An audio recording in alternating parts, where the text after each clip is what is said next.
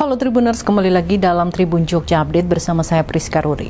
Sebuah survei terbaru dari media penyiar publik ARD menunjukkan 68% persen warga Jerman menolak memberikan dukungan militer untuk Israel jika konflik menyebar ke Lebanon atau Iran. Survei ini mengungkapkan lonjakan ketidakpuasan terhadap kebijakan militer Perdana Menteri Israel Benjamin Netanyahu di Timur Tengah. Sekitar 57 responden merasa respons militer Israel terhadap serangan Hamas pada 7 Oktober sudah terlalu berlebihan. Angka ini meningkat 7 poin persentase dibandingkan survei sebelumnya pada Maret lalu. Dukungan terhadap tindakan militer di jalur Gaza turun menjadi hanya 21 persen, sedangkan hanya 4 persen yang merasa tindakan tersebut belum cukup keras.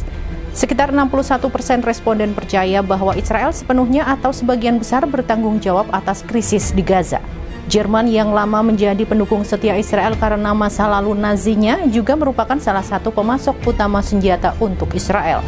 Dalam setahun terakhir, Jerman telah menyuplai peralatan dan senjata militer senilai sedikitnya 5,3 triliun rupiah kepada Israel.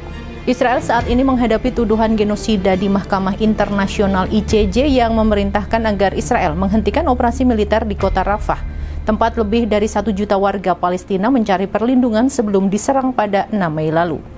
Pada Sabtu 10 Agustus pagi, serangan udara Israel menghantam sekolah Al-Tabain di lingkungan Al-Daraj, kota Gaza yang digunakan sebagai tempat perlindungan bagi para pengungsi.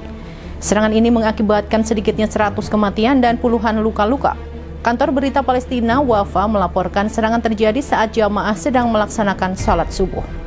Kantor media pemerintah Gaza mengecam serangan ini sebagai pembantaian dan menuduh bahwa tindakan tersebut merupakan bagian dari kampanye genosida dan pembersihan etnis terhadap rakyat Palestina.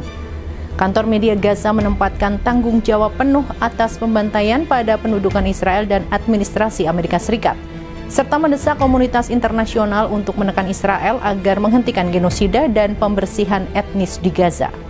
Sementara itu, militer Israel mengklaim bahwa sekolah tersebut adalah markas militer aktif Hamas dan menyebut bahwa beberapa langkah telah diambil untuk meminimalkan risiko terhadap warga sipil.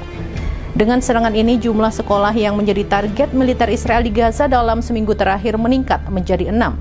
Demikian berita terkini terkait warga Jerman yang menolak dukungan militer untuk Israel. Ikuti terus berita-berita terkini hanya di Tribun Jogja Update. Saya Priska Rudi dan segenap kru yang bertugas pamit undur diri. Terima kasih dan sampai jumpa. Download Tribun X sekarang.